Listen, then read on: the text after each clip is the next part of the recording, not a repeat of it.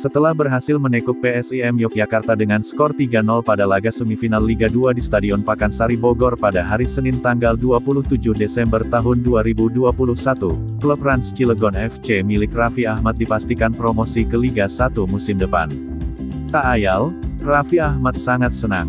Alhamdulillah terima kasih atas doa-doanya. Aduh, sebenarnya ini aku enggak menyangka juga, kata Raffi Ahmad. Kegembiraan itu pun berlanjut, setelah promosi ke Liga 1 klub Rans Cilegon FC sudah dapat kandidat pemain asing.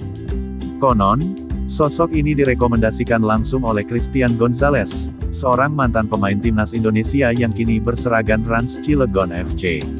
Meskipun sudah berusia 45 tahun, tapi ia masih gacor dalam mencetak gol dan menjadi top scorer di tim. Tak sekadar meraih gelar individu, Christian Gonzalez juga berhasil mengantarkan Rans Cilegon FC ke final Liga 2, dan otomatis promosi ke kompetisi kasta tertinggi di Indonesia. Jika sudah mencapai level Liga 1, maka tim berhak menggunakan jasa pemain asing. Christian Gonzalez pun merekomendasikan temannya sesama pemain dari Uruguay yaitu Ronald Fergundes Oliveira. Nama ini sebenarnya sudah sangat familiar di Liga Indonesia, meski beberapa tahun terakhir ia harus vakum dari dunia sepak bola.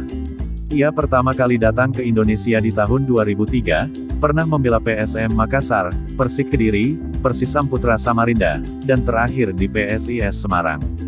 Sebagaimana diberitakan dalam laman indosport.com, Ronald Fagundes dipaksa pensiun lebih cepat saat masih bermain untuk PSIS Semarang. Hal ini dikarenakan ia mendapat sanksi lima tahun tidak boleh beroperasi di dunia sepak bola. Hal ini karena skandal sepak bola gajah antara PSS Sleman dan PSIS Semarang di tahun 2014.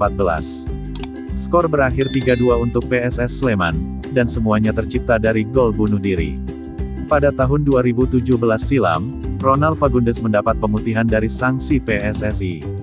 Ia dikenal sebagai spesialis tendangan bebas kaki kiri yang mematikan. Maka dari itu, Christian Gonzalez tak ragu untuk merekomendasikannya bermain di Rans Cilegon FC.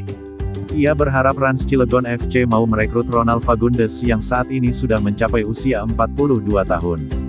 Ya, kehebatan Ronald Fagundes ketika duet dengan Christian Gonzalez memang fenomenal sejak keduanya sama-sama membela Persik Kediri pada tahun 2006 hingga tahun 2009 yang lalu.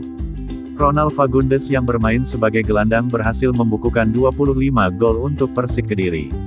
Sedangkan Christian Gonzalez di posisi striker, sukses mencetak 102 gol. Rumor Ronald Fagundes bakal merapat ke Rans Cilegon FC ke Liga 1 2022, diucapkan langsung oleh istri Christian Gonzalez yaitu Eva Nurida Siregar pada Tiento Indonesia. Kemarin di Rans juga sebetulnya mau dibantu, dia sudah sampaikan ke arah visi, cuma mungkin belum di follow up, ungkap Eva, didampingi oleh Gonzalez. Tahu kan kehebatan Ronald, kakinya itu. Pemain bola itu jangan dilihat dari umur, tapi skill dan kemampuan dia. Sekarang sepak bola tuh butuh insting, terang Eva lagi. Ronald itu benar-benar menurut aku keren banget kalau duet sama Gonzales, pungkas wanita asal Sumatera Utara itu.